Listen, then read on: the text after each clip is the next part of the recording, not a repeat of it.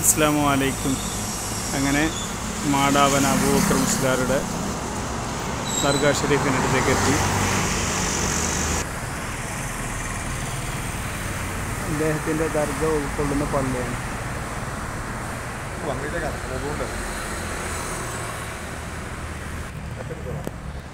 Dargah ആലുവായി Abubakar Musliyar എന്നവരുടെ ഖബർസ്ഥാൻ Thank you.